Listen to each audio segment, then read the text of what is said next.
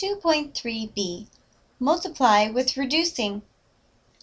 Let's consider this first problem. If I have 4 ninths times 6 fifths, and I use the rules we learned in the last video, where I just simply multiply the numerators and the denominators, I get 24 over 45. I then must have see if this reduces.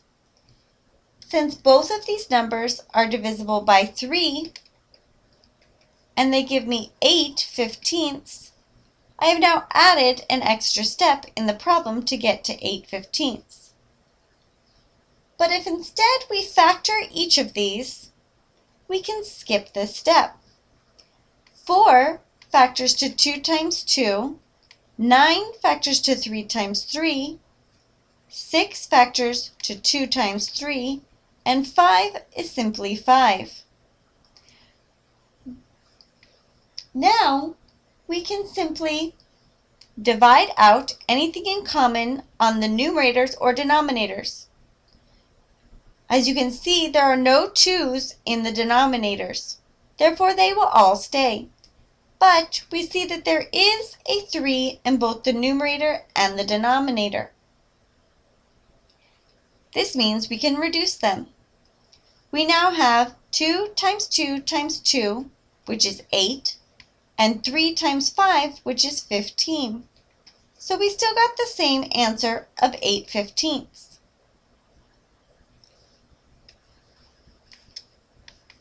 So, when multiplying,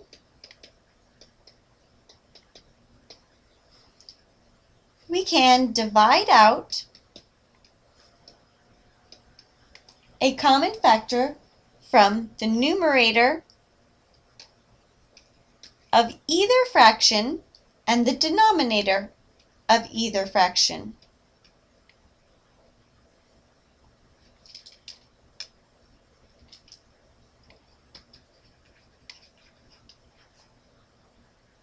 Let's see this done in example 1.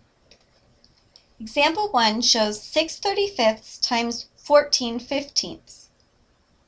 We can start by factoring each of these, or remember, if we can see ones that are in common, we can use those. If I look at both the 6 and the 15, which are the 6 is in the numerator and the 15 is in the denominator, I know that both of those are divisible by 3. 6 divided by 3 is 2, and 15 divided by 3 is 5. Next, I can look at the other diagonal, or the other numerator and denominator. They are both divisible by 7. 14 divides by 7 two times, and 35 divides by 7 five times. I now double check that the numerator and denominator do not have any more numbers in common. And then I multiply across. 2 times 2 is 4, and 5 times 5 is 25. If you are not comfortable with seeing the numbers, remember, you can always factor them first. The 6 would factor to a 2 times a 3, the 35 would factor to a 5 times a 7, the 14 factors to a 2 times 7, and the 15 factors to 3 times 5. You can now reduce the factors that are in common, which would include a 7 and a 3. This will still give you the answer of 4 25ths. So whichever method you choose will get you to the same answer. Let's look at the next example. I know that 6 fourteenths, both of these are divisible by 2. 6 divides by 2 three times, and 14 divides by 2 seven times. Next, I look and I see that 13 is a prime number, and there's not a 13 in any of the other numbers. But 35 has a 7 in it. 35 divided by 7 is 5, and 7 divided by 7 is 1. This gives us the answer of 15 over 13. Remember, if you're not comfortable with the seeing method, find the prime factorization of each number.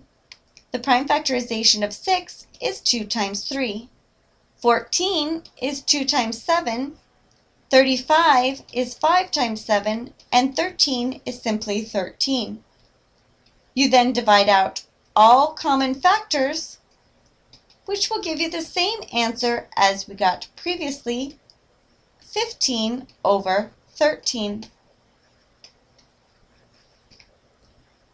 Remember, when multiplying fractions, it is easiest to reduce and then multiply numerators and then multiply denominators to get your final answer.